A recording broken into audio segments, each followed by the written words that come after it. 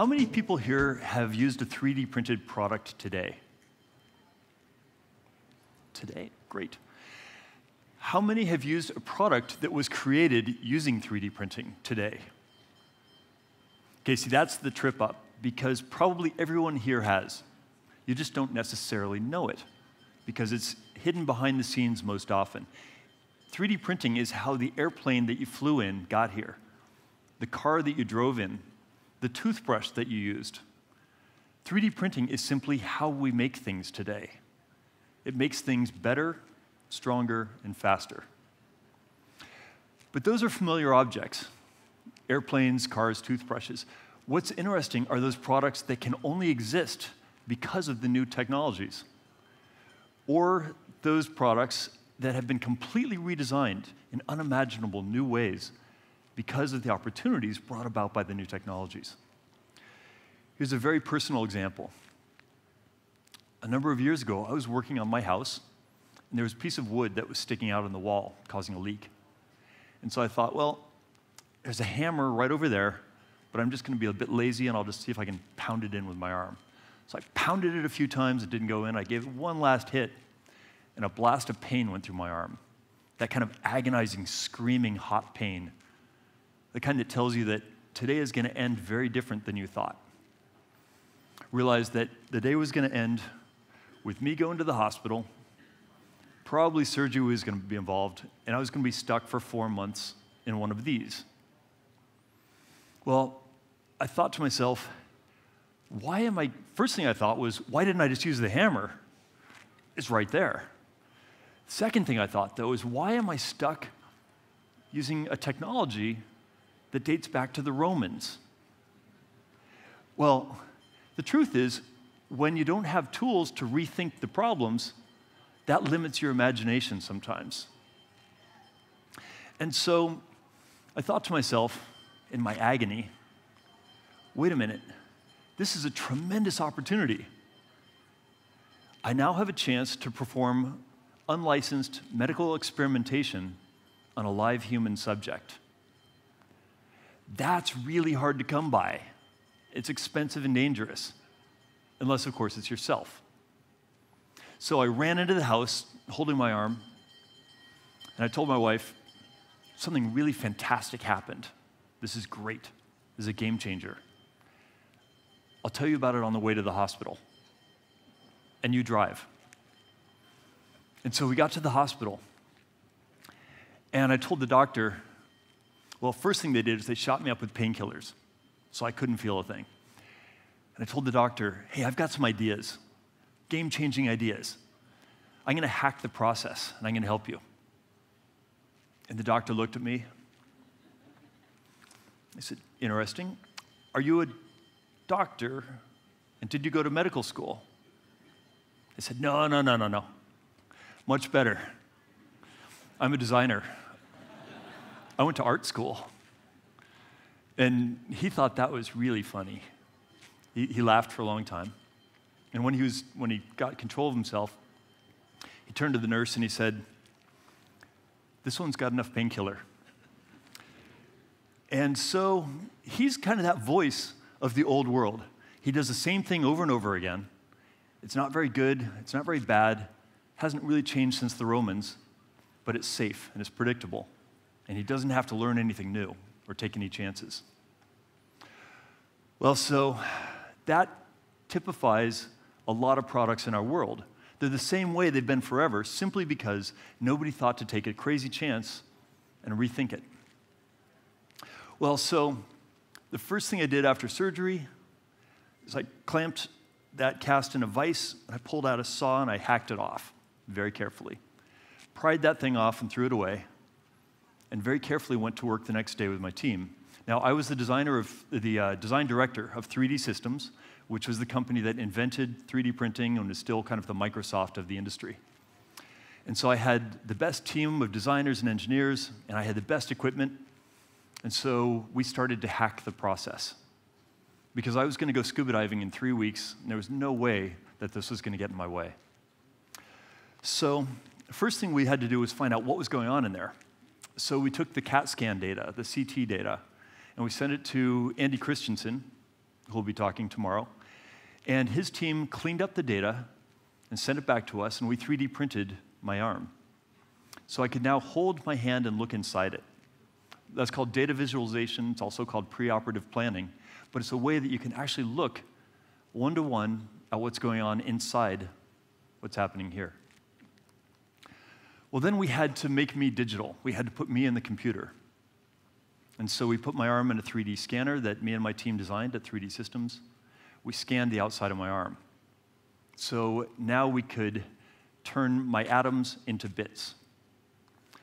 We added to those the bones from the CT scan, the nerves, the blood flow, the muscles, and we used, we drew onto that, we sculpted onto that with that, what's called a haptic device.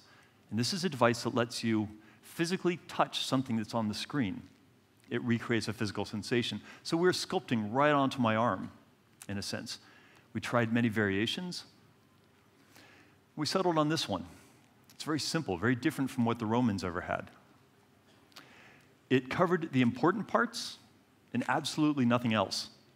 So we called it the bikini.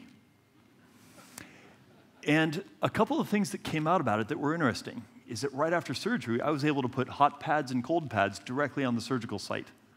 That helped the blood flow and stop the swelling. I had acupuncture to stop the pain. It got sunlight. Most importantly, I took a shower every day. Normally, it doesn't happen when you have a cast. And I went scuba diving a couple times. So, my doctor now borrows this cast when he does international events, and he talks about this amazing technology that he was really excited to be a part of. All good. So we looked at what this might look like in the future. What happens if you could 3D print directly on the body?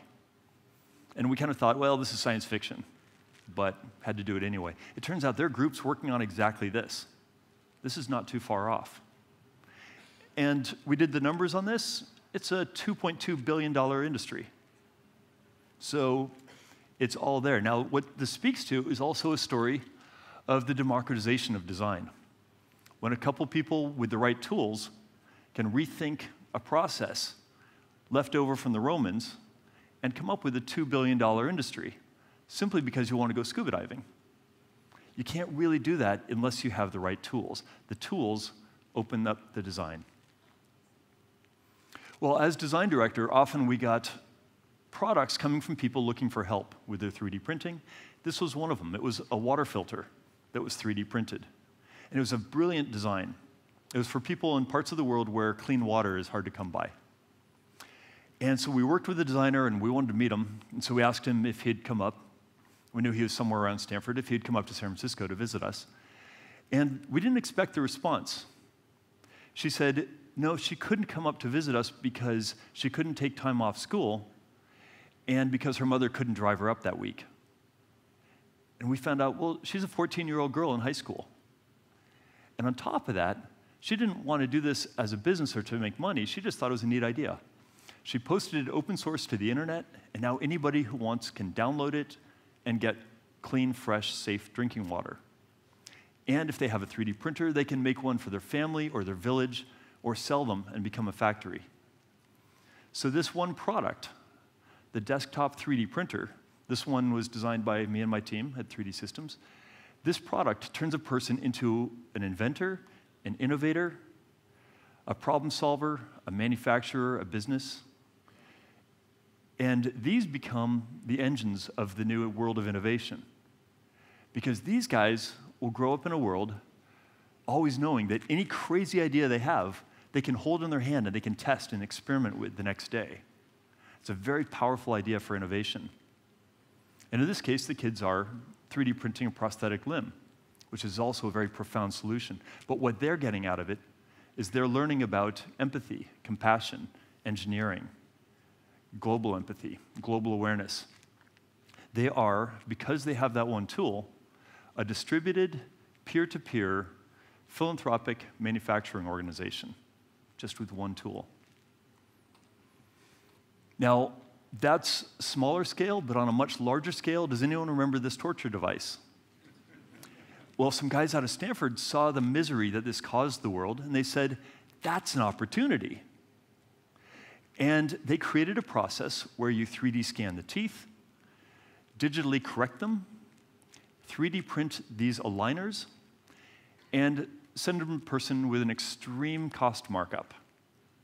And now they make uh, 7.8 million units per year, 17.8 million units per year, each one of them unique. And they have a $6.42 billion market cap, and they've completely disrupted the dental industry. It, not bad for two kids right out of Stanford to disrupt an industry in 10 years. But better than that was the hearing aid industry. Same thing happened, two years to total market domination of 3D printed hearing aids. So you imagine if you're a hearing aid company and you think, here's this new technology, it might work for us, it might not, can't really tell, but we'll wait it out. If that's your mentality, you don't exist anymore because you can't compete with 98% market share over a two year span. Well, 3D printing was never meant to do this from the start.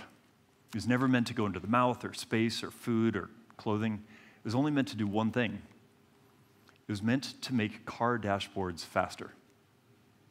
A guy named Chuck Hull from MIT decided if you could 3D print, if you could create a car dashboard faster, the American car industry becomes more competitive. So he did, and it did. But everything that happened after that was the result of somebody saying, I'm going to take this car dashboard faster making machine and use it for something it was never intended to do. And somebody else believed them and somebody else funded them. And that has led to a world of innovation that's not going to stop anytime soon. So he added complexity and rapid development cycle. Now you add that to 3D scanning, automation, data, robotics, and you get entirely new concepts here part consolidation, low quantity manufacturing, mass complex manufacturing, decentralized manufacturing. All these attributes just sprung out of those two little attributes that he gave. And so we still 3D print car dashboard prototypes, but now we 3D print the rest of the car as well in prototypes. So the plastic parts are plastic, metal parts metal, the rubber parts are rubber, down to the optically clear headlights. But that's a trend that's been going for 30 years and will keep going. What's more interesting, you can see in these really cool wheels that McLaren has. They're 3D printed titanium, of course, and they are the 3D printed end product, not the prototype. If you can afford to, you can get these on your next McLaren. And granted, that's a McLaren. It's different from the real world, but real world products as well are getting 3D printed inventories so that you can always get a part for your tractor that will be 3D printed. They'll never run out. And so companies like Whirlpool here are getting into the game early and saying, we'll just design the product, the machine, in this case the washing machine, to be 3D printed from the start. Now that gets them a couple things. It means that they're faster to market, they're more nimble to market changes, they can correct their products faster and easier, they have lower costs of development, no tooling costs. But then you get a few more dividends as well. In that when your inventory is digital, you don't have an inventory. That the manufacturer wins because they don't have to have boxes and boxes of parts that they may never use. The consumer wins because if they buy that washing machine, they'll know that it's immortal. It will never die. They will know that they always have spare parts. But here's the weird one the world wins as well because instead of that part being shipped around the world for the spare part, it's merely sent in this form to the nearest 3D printer to the consumer, and it's printed and sent locally. So, would you rather have an inventory that looks like this or one that looks like this? It's a fairly easy choice. So, companies are making this trend because it simply makes market sense and everybody wins. Okay, so back to that McLaren. Yeah, those really cool wheels don't help you if you go sliding on water and go slamming into a tree and you turn it into a paperweight. So, wet road conditions, still a problem, always will be. And we're not going to 3D print tires. But it's not about 3D printing the tires sometimes, it's about the opportunities that come, in this case, from 3D printing the tool that makes the tire. Because when you're unlimited by complexity, you can make a new breed of tire that's essentially a rolling water pump. That's what Michelin is doing out in France. We worked with them to work on this stuff to make this tire that now will have road adhesion like the world has never imagined, simply because we can print infinite complexity. And it's not always about that. That's printing the cavity of the tool, but anyone who knows injection molding, I'm guessing there are people here who are in that world, you know that a lot of it's a very temperature sensitive process. And to cool that big slab of steel that is your tool, you normally have to drill holes in it, and those holes have to be straight because drills are straight. Well, now what you do when you 3D print your tool, you can 3D print your cooling channels as a lattice that goes over that complex shape. So now you can very deliberately put your cooling exactly where you want it, and you have extremely accurate temperature control. You can make this helmet, but more importantly, you can make another product that is especially temperature sensitive. Anyone? Chocolate. So we have something to look forward to in the future. Now, what does this all have to do with Industry 4.0? Well, what started out as 3D printing a prototype turned into 3D printing a final end use product. What's happening now is another exciting trend in that we are taking the 3D printer out of the back room and putting it right there on the manufacturing floor. So the printer, which is in this case a robotic arm, it preps the part, it prints the part, it cures the part, it does secondary operations to the part, and it assembles it right there on the assembly line. And that doesn't matter if you're making a million products and they're all identical, or if those million products are each individual, because the process doesn't care. It also doesn't care if you're only making a thousand parts. Now, injection molding hates those conditions. You can't win. But with 3D printing and robots doing all the work, that all comes for free. Now you can add to that a 3D scanner into the process, so each part gets 3D scanned while it gets made, and it gets compared to its digital twin, its CAD file for any deviations.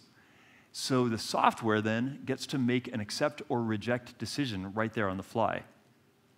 Not only that, when it gets when, when it realizes there are errors, it can actually correct them in the very next part created right there, or all over the world where these are being made the next instant. So, as far as Industry 4.0 goes, that speaks right to the heart of it.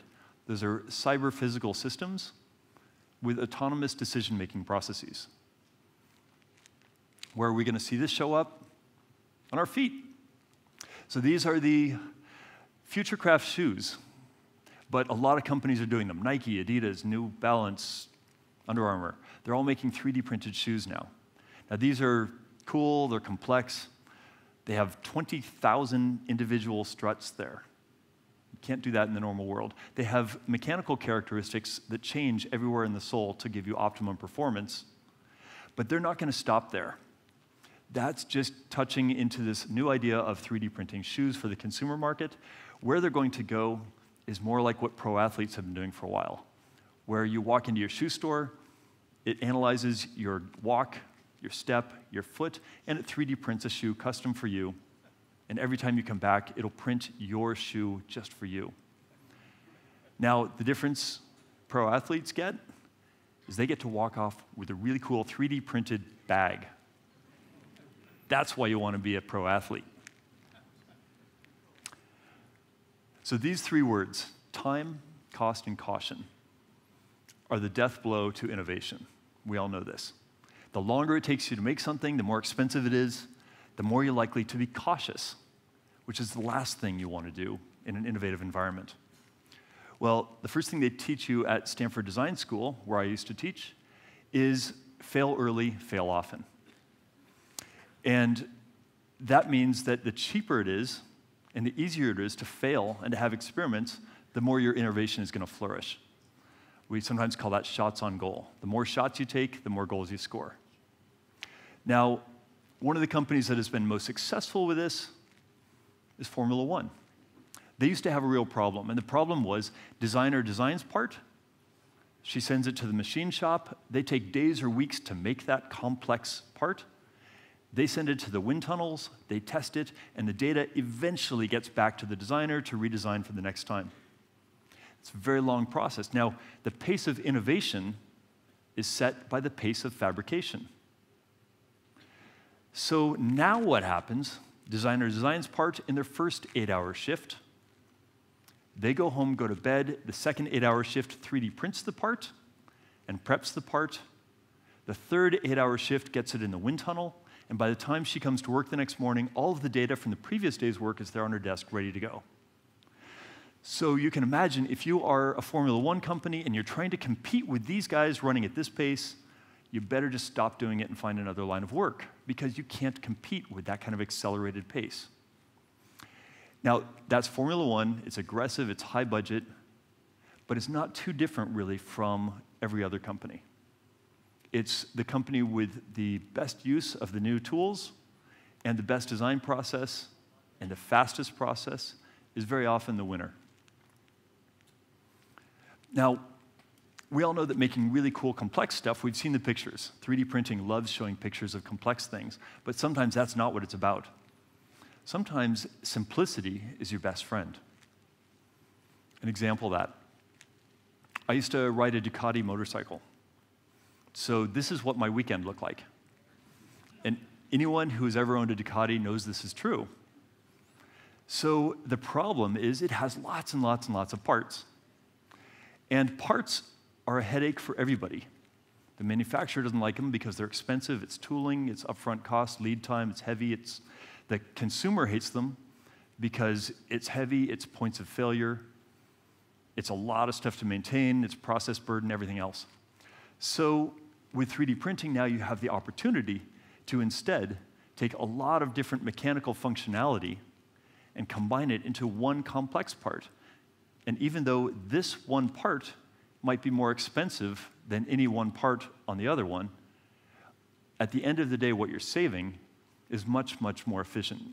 And you have a much less expensive and a lot more practical part in general. So that's called part consolidation. And while you're 3D printing a part, you get the other opportunity to do what was mentioned earlier called uh, topology optimization or generative modeling. Now, in short, topology optimization is the chance to take 30 million years of Darwinian evolution and condense it down to overnight. And so we were asked to demonstrate this for the Cooper Hewitt Museum in New York. And so they asked us to do a skateboard this way. The first thing you notice is that we didn't design it. As Andre pointed out, we became the curators of the design process, but the software designed the skateboard. We simply loaded in the forces and the torques and the newtons and all the physics.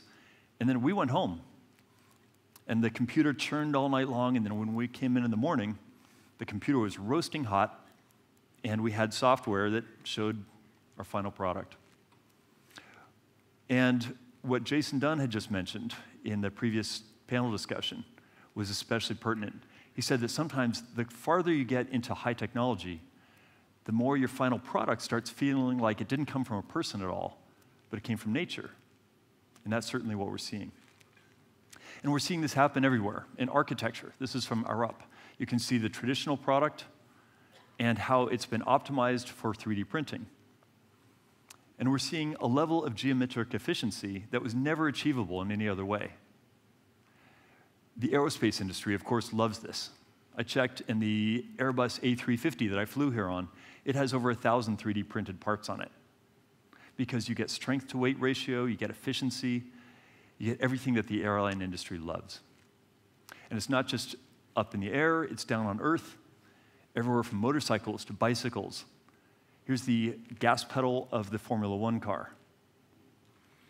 And part consolidation is also helping the car industry in all ways because you have companies looking at taking all the complex parts of a car, in this case, 30,000 parts in a traditional car, and turning it down to 50 parts. Well, not only that, you can imagine the day when instead of assuming that cars are expensive and complex, you can assume that they are cheap and simple. So perhaps this is what the car of the future is going to look like. This is the EDAG Genesis concept car. It will be lighter, simultaneously stronger. It will be a faster time to market but also yet more nimble and more adaptable to changes. And as we've all seen, the rocket industry is exploding right now, so to speak. And part of that is due to the fact that a rocket engine is inherently complex and takes a long time and great cost to make. Well, now, because you can 3D print the parts, you can, right there, print a new engine every 24 hours. Well, that's kind of a game changer. Or with these guys, Relativity Space. They talk about consolidating 100,000 parts into 1,000 parts. Massive part consolidation. So, what that does is it democratizes the means of creating, in this case, a rocket. And it means that instead of rockets being the sole domain of nation states, they can suddenly become private devices that companies can create. And it allows the startup rocket company, which is a strange concept no matter how you slice it. Well, that's complexity being your enemy. Complexity is also your friend. And I started a company based on this uh, nine years ago. And it was looking at this uh, a miserable condition called idiopathic scoliosis that happens in girls mainly, ages 8 to 12 years old. Now, the process makes a lot of sense. You just tell an eight year old girl to wear this 22 hours a day. What could go wrong? Well, what goes wrong is she doesn't want to wear it. And anybody who knows an eight year old girl knows that that means that it won't happen if she doesn't want to wear that. And so then she often needs surgery, and the surgery is as miserable as you could imagine. So the problem was not in the medicine, the medical approach works fine. The problem was the psychology and the way you treated the patient. So the process that I worked on was to say, how about we treat the patient with some respect? Treat them as a human being and treat their real human needs. So we designed it to be ventilated so it should be comfortable. We came up with a digital process where we 3D scan her body, correct her digitally, and 3D print a brace, and let her choose the pattern. So then it's not a medical product she has to wear, it's a fashion product she gets to wear. And because all of a sudden she wants to wear it and she finds it beautiful, she wears it more. And then she avoids surgery more. So, all this technology, all the complexity that we're given, is all about helping a little girl have a not miserable condition and avoid surgery. And it's working. And that's due to the complexity of 3D printing.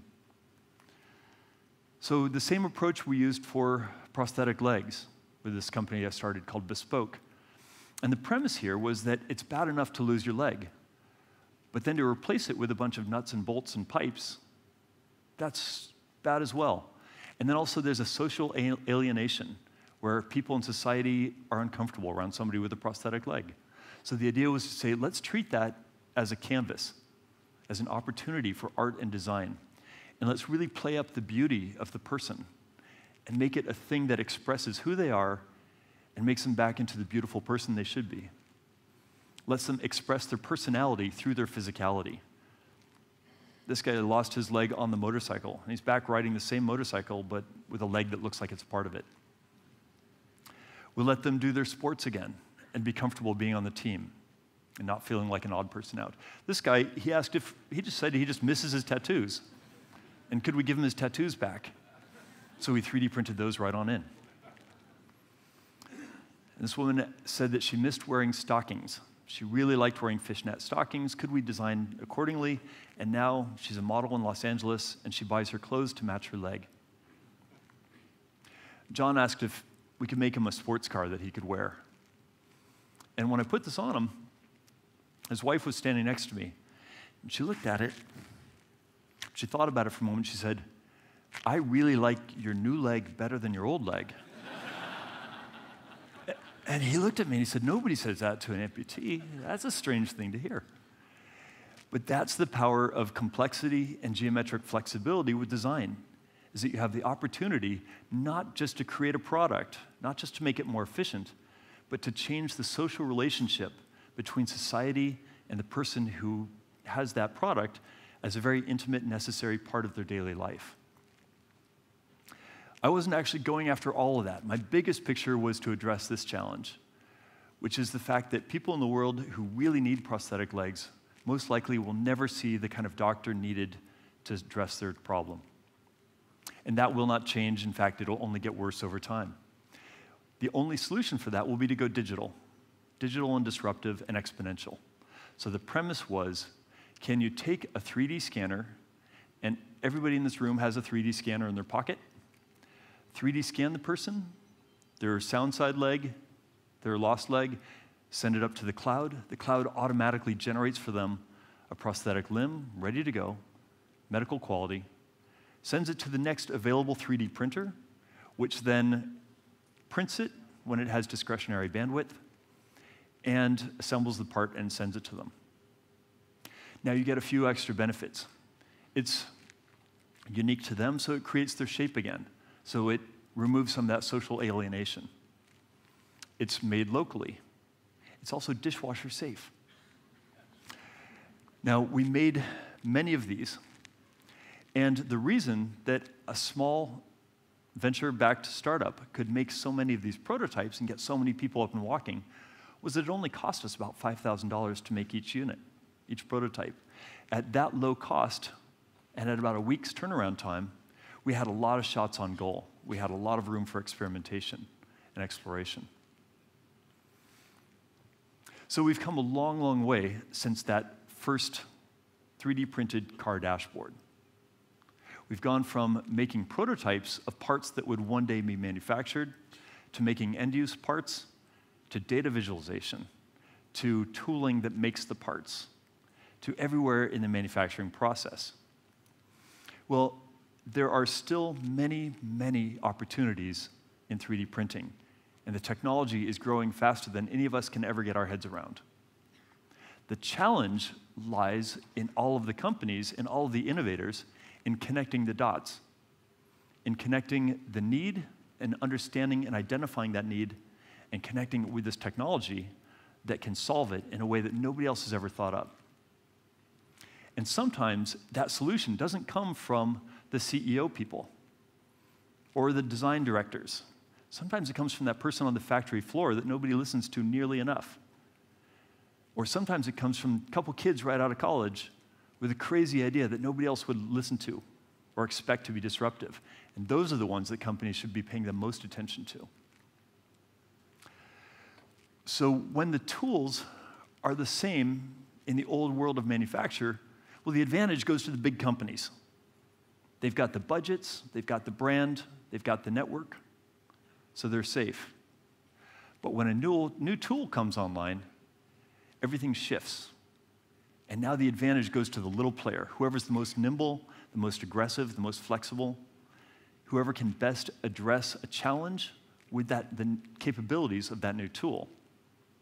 Well, now all those tools have been democratized. We all have access to the same 3D printers and the same 3D scanners and data on robots. The challenge is no longer in the limitations of the tools. The challenge is now only in the limitations of our own imaginations. Thank you for your time.